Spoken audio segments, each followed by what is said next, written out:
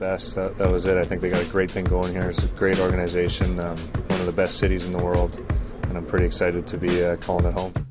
Number one selection in the draft, we select from the London Knights, Rick Nash. forever. I'm the new Sinatra, and since I made it here, I can make it anywhere. Yeah, they love me everywhere. I used to cop in Harlem, all of my Dominicanos right there up on Broadway. Going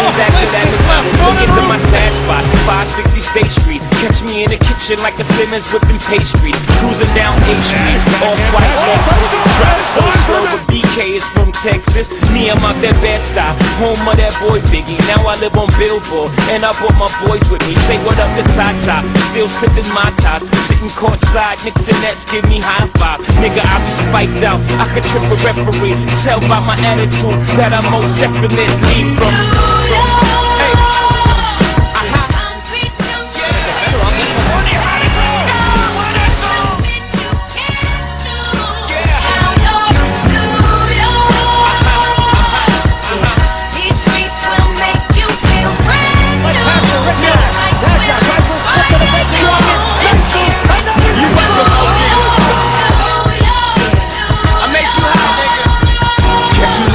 With OG at a Yankee game. Shit, I made the Yankee hat more famous than a Yankee can. You should know I bleed blue, but I ain't a crypto. But I got a gang of niggas walking with my click though. Welcome to the melting pot. Corners where we selling rock. Afrika Bambaataa shit. Home of the hip hop.